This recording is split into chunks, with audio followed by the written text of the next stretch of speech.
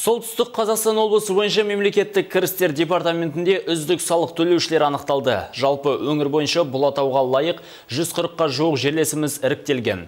Араларында кімнің қошеметке бөлінгені туралы толығырақ келесі бейнематериалымызда.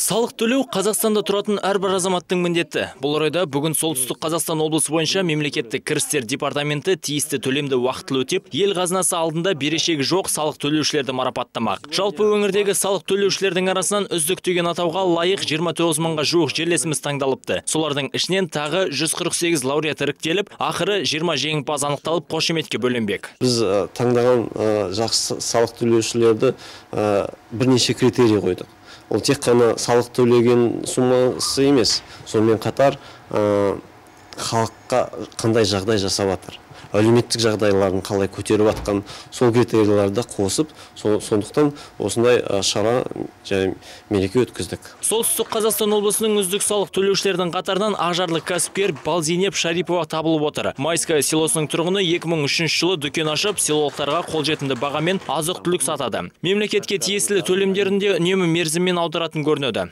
Жұмысымды бұдан да шексіз жақсы істеймін деп ойлаймын. Осындай грамоталар алған баршамызға бергендерге рахмет көптен көп. Сонымен қатар кездесуде сыртқы экономика саласының үздік қатысушысы номинациясының жеңімпазда қошеметке бөленді. Риат шони михаил казначеев муниципалдық телеарна.